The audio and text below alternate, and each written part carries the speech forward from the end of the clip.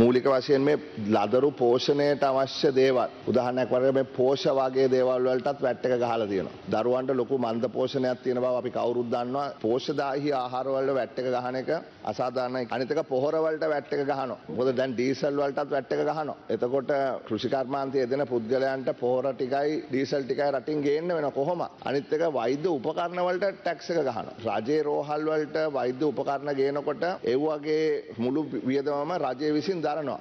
පෞද්ගලික අංශයට ගේන ඒවට අපිට කරන්න දෙයක් නැහැ කියලා. අද පෞද්ගලික අංශයට සල්ලි තියෙන මිනිස්සයයි සල්ලි නැතු මිනිස්සයයි ඔක්කොම යනවා. මොකද උපකරණ නැති නිසා ගොඩක් ස්පිරිතාලවල දැන් ටෙස්ට් කෙරෙන්නේ නැහැ. ඉතින් වෙන තැන් වලින් කරගන්න යනකොට ඒකටත් 118ක වැට් එකක් ගහනවා නම් ඒක අසාධාරණයි. සුවසැරිය වාගේ මේ ගිලන් රථ වලටත් වැට් එක ගහන්න හදනවා. ඉතින් ගිලන් රථ ඒ වගේ සෞඛ්‍ය සහ දරුවන් වෙනුවෙන් තියෙන දේවල් වල වැට් එක ගහන එක අත්‍යවශ්‍ය දේවල් හැටියට සලකලා නොගහ ඉන්න පුළුවන් නම් හොඳයි. මේ ඩොලර් අර්බුදයට විසඳුමේ බදු ගහන එක නෙවෙයි අපට අයන 115 අඩු වෙලා. මේ රටේ ජනතාව තලා පෙළලා බදු ගහන එක තමයි මේ ආණ්ඩුව කරන්නේ. ඉතින් අපි කියන්නේ අපට අයන වැඩි කරගන්න. ආබාධිතයන්ගේ අර කකුල් එහෙම එව්වටත් වැට් එක ගහනවා. ඒකත් නිදහස් කරන්න කියලා තමයි අපි ඉල්ලුවේ මට ඒක කියන්න අමතක වුණා. විජේදාස රාජපක්ෂ මැතිතුමා හෙළිදරව් කරා මේ රටේ රට බංකොලොත් කරපු රට හොරා කාපු කට්ටියගේ අරමුදල් පිටරට තියෙනවයි කියලා මේ රටේ සම්පූර්ණ ජීවනාලිය ගොඩනගන්නට ලක්ෂ දෙසිය විස්ස ගොඩනගන්නට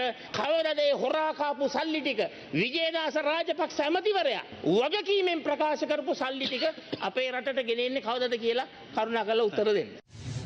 අපේ ප්‍රථම අභිප්‍රාය තමයි කාලගුණ විද්‍යා දෙපාර්තමේන්තුවේ නව්‍යකරණය කිරීම අපි තාක්ෂණය පැත්තෙන් අවුරුදු 25ක් විතර පිටිපස්සේ ඉන්නේ ලෝක බැංකුවේ ණය ක්‍රමයක් මගින් කාලගුණ විද්‍යා දෙපාර්තමේන්තුව නව්‍යකරණය කිරීම ආරම්භ කරලා තිබෙනවා කාලගුණ විද්‍යා දෙපාර්තමේන්තුව සමහර කාරණා සම්බන්ධයෙන් රටේ අනෙකුත් ආයතනත් එක්ක එක පද්ධතියක තමන්ගේ තොරතුරු හුවමාරු කරගන්න බව පේන්නේ නැහැ. ඒ නිසාම සමහර වෙලාවට එක දවසක වර්ෂාපතනයෙන් වසරක ත්‍රස්තවාදයට වෙච්ච උනාට වඩා වාහනයක් තියෙන කාරණා අපි දැක පසුගිය කාලේ දකුණු පළාතේ ගම් අතුරු හොඳම උදාහරණය මේ මොඩනයිස් ප්‍රෝග්‍රෑම් එකක් අපේ අතර නෑ. ලෝකයේ ප්‍රබල රටවල් මේ පුරවකතනයන් සඳහා මුදලකුත් අය කරනවා. ඒවියේෂන් සෙක්ටර් එක, ශිපින් සෙක්ටර් එක, එනර්ජි සෙක්ටර් එක විශාල මුදලක් ආයෝජනය කරන කර්මාන්ත. දැනට අපි අපි බ්ලැන්කට් පුරවකතනයක් තමයි ෆෝකාස්ට් එකක් තමයි ආයතන වලට ලබලා දෙන්නේ.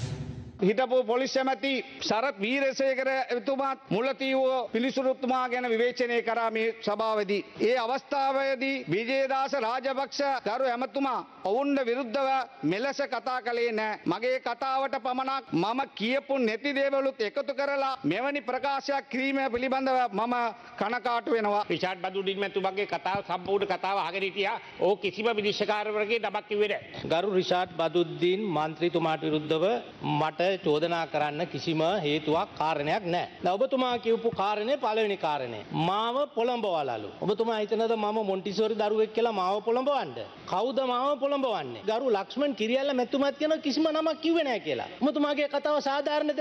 ඉතින් මුස්ලිම් මිනිස්තුරුවරයෙක් කියලා කිව්වේ නැද්ද?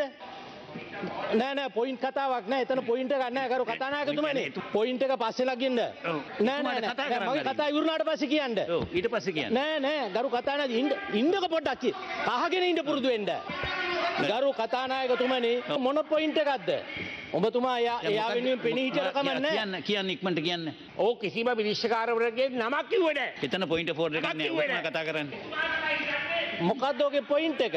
උන් බබෙක් වෙන්න එපා ඔබතුමා. නමක් කිව්වේ නෑ. මුස්ලිම් ජාතික විනිසුරුවරයෙක් කියලා කිව්වා. මුස්ලිම් ජාතික විනිසුරුවරු දෙදෙනෙක් නෑ. ශ්‍රේෂ්ඨාධිකරණය. ඔබතුමා පිළිගන්නවද එක්කෙනා ඉන්නේ කියලා? අභාචනාධිකරණය කිව්වේ නෑ. ශ්‍රේෂ්ඨාධිකරණය ගැන විතරයි කතා කරේ. නේ මේ මේ පිස්සු කතා කරන්න එපා. මේතුමා කතා කරේ. එතුමාගේ ශ්‍රේෂ්ඨාධිකරණය නඩුව ගැන. මොනවද ඔබතුමා මේ? උදේ වැරදි පැත්තේ නැගිටලාද ඉ- ඉවර වෙනකන් ඉන්න. ඕකනේ ඕකනේ දඟලන්නේ.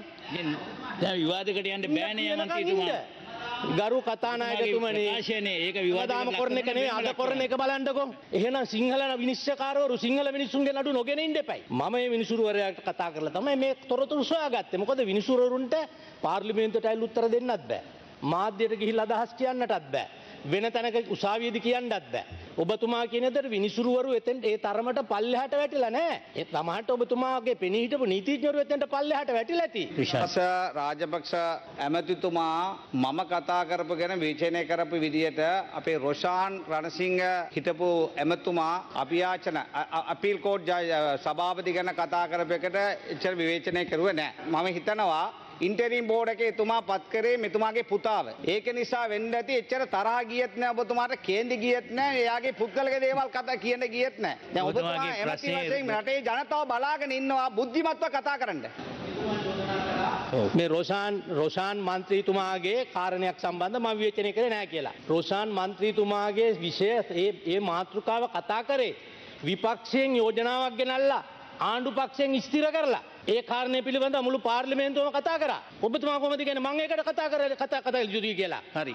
ඒ ඒ කිසිදේකට සම්බන්ධ නැතුව මෙතුමා මේ මගේ අධිකරණ විෂය කතා කරද්දී බොහොම ස්තුතියි අමතුමා. විනිසුරුවරුන්ගේ නම් තවත් කියලා ඔතන මේ විනිසුරුවරුන්ට චෝදනා තවත් කරනකොට පටලවන්න නැතුව එතනින් ඉස්සර. කරමු. හරි. බොහොම ස්තුතියි. කා- කාරක සභාව. No, this is they know the time for that. රටේ ලෝකෙ සිදුවන උණුසුම් පුව දැනගන්න සියත නිවස් YouTube චැනල් එක අදම සබස්ක්‍රයිබ් කරන්න.